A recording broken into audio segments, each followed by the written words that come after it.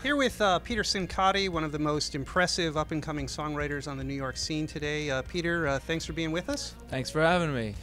Uh, Elton John, Billy Joel, uh, Neil Diamond, Jim Steinman, these are all songwriters that immediately come to mind when I watch you perform. Uh, you are a phenomenal. Well, thank you. Are, you're a phen- phenomenal piano-driven songwriter. Were these big influences on you? They actually they were, um, and I hear the first two a lot. You know, uh, I think it's really just because I play piano and I sing, and there's not all that many people that do that. I hear Elton, I hear Billy a lot. Neil Diamond, I don't hear that much, but but yes, he is. I love Neil Diamond. Well, in your song, what is it? Goodbye Philadelphia. Yeah, that's funny you said that. It, it, seems like you're reaching for, for Neil Diamond's throne. And you want one, and I always thought so, but nobody called me on it until now. So you, you oh. called me on that. But yeah, I, I hear that. In that I have song. a unique frame of reference. uh, your song Magnetic is very evocative of like a lot of early Billy Joel uh, albums. Um, how much uh, time did you spend growing up listening to Billy Joel? Uh, you know, he was in the mix with with a lot of my influences that were of all different worlds. I mean, a, lot of I started with listening to all kinds of just piano players. Like my first influence was Jerry Lee Lewis. I was five years old. I bought Great Balls of Fire on a cassette tape, and I would be obsessed with boogie woogie, like 50s rock and roll, uh, Chuck Berry, Fats Domino, and I went through that phase, and then I got into like a heavy jazz phase of listening to people like Oscar Peterson and Elton John, and then I got into like a 70s songwriter piano uh, per, uh, player phase, and Billy Joel was a certain certainly a huge part of that. And do you have a natural ear? I mean, because you already look like you were born on third base. I mean, don't tell me you came into this world just being able to write these types of songs. That's the third time this week about the third base. I've heard somebody say third base, not about me. we were talking about Tony Danza before. Tony says that all the time. He says, "This guy, you know." Not about me, but about people. You know, this guy, uh, he looks like he, he was born on third base. He thinks he hit a triple. You know, I know you. Your sister recently wrote a, a play that you did all the music for. That he is uh, oh yes acting in. Tony was a guest, surprise guest. Oh, surprise guest in this musical that my sister Pia wrote about a pool guy uh, who's obsessed with chlorine, the chemical, and he gets the opportunity to chlorinate the ocean uh, on the surface, it's a very crazy comedy, but uh, to me, it's a, it's a love story. Once you get past that, I think about a third of the way in the play, you forget that it's about chlorine. So let's talk about your songwriting process. Yeah. Um, how does it work? I mean, where do these songs come from, and how do they come to life?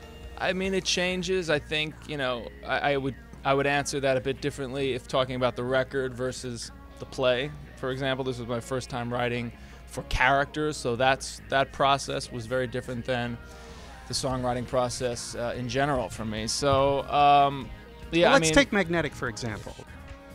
I remember just seeing just pic- just pictures, you know, of this story about this guy who is um, just uh, uh, consumed with uh, an attraction towards a girl that he shouldn't have.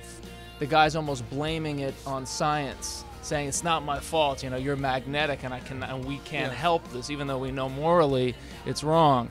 Um, but yeah, it usually starts with like pictures of that. You know, also the the record's called Metropolis. That gave way to different stories because I looked at the album as kind of like a city and each song like a neighborhood in that city yeah. and magnetic is a story is one of the stories that in my mind are happening simultaneously with some of the other stories other tracks on the record now now coming out to your live shows um, it is very infrequent that i come across a performer that is so incredibly comfortable in their own skin and, and in front oh, of an audience. Nice uh, you've got these people eating out of the palm of your hands. Uh, how long have you been at this? I've been playing my whole life. I mean, I started playing when I was three years old, and um, and I started performing in clubs here in New York when I was uh, like 13. Was like I think my first gig. I don't know how the hell I got into some of those bars because they, they wouldn't yeah. allow me in. But yeah. Wherever there was a piano, I would just try to find a way to play. And I, I, studied with a lot of people, great teachers in the city that would perform in town as well. And whenever I came to see them, they, they were generous enough to share the stage and call me up. And that was a huge part of my education, you know. Well, you're, you're a bit torch song, a bit troubadour, a bit balladeer. Uh, a bit rocker. I mean, that's what I get when yeah. I when I watch you play. Uh, what are some other descriptions that people have used about it's music? funny, you know. I've made four records so far. This is my fourth, and each record has been quite different from from the other. My first two are closer together, and my last two are closer together, but they're pretty polarizing on the surface to people. Not to me. To me, they seem like logical next steps. But to answer your question, I hear all kinds of contradicting comparisons from one record to the next, and uh, uh, it's hard. It's hard to answer that because they're, it's all over the map. Do you aim for a cohesive theme when you set out to write an album?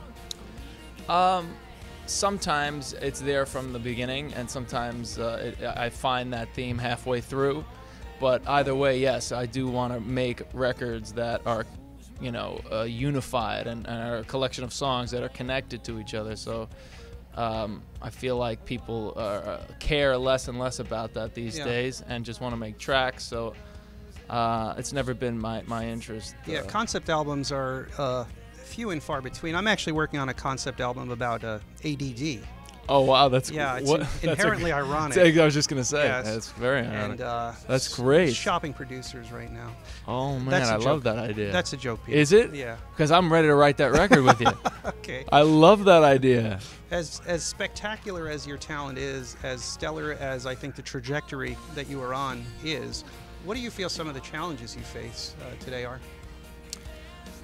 Um, I mean, seriously speaking, that um, the fact that, that albums are seem to be uh, a thing, you know, a a slowly becoming a thing of the past. Um, yeah, attention span, uh, the business. There's no formula anymore. I think there's that, that's a double-edged sword in a way. It could be it could be a good thing for for artists. It could be a bad thing. People are searching for the next formula. The record companies are are sinking in a way, and um, it's tough. But they like to pigeonhole you. They like to say you're like cour- this. of course. I mean, God, if you, especially if you have success. Like when I first started my first record, I was successful with that first record, which was a jazz record. So everybody around me wanted me to just keep making the same record for the rest of my life, and that's just the last thing I want to do. I Mm-hmm. Was didn't want to be 18. another. You didn't want to be a Harry Connick, a junior, junior. I just wanted to play what I wanted to play. I couldn't care who they compared me to, and I, I wasn't about to just make the same record. But you know, on a business standpoint, I made money at work. Let's do a part 2 So you know, when you think like that, uh, yes, commercially you run risks, but uh, you have to ask yourself early on why why are you in this business and. Um, and for me, it's just I want to I want to be able to play what I want and be on stage and play from the heart. I mean, I would never be able to sell it anyway to the audience. I feel like the audience would know if I were, Yeah. you know. So that's tricky, but it runs it runs uh, you know flies in the face of the business. So yeah, Well, uh, judging from what I've seen in terms of the audience response and my own response, and uh, from what I just believe about your talent, I think that you will overcome these challenges. well, thank you. I, I appreciate. You'll it. definitely get where you're going. It's been an absolute pleasure Well, having you today. and I Oh, just thank you wish the very best of much. success. Thank you, Jimmy. Really good to good Thank to you. see you.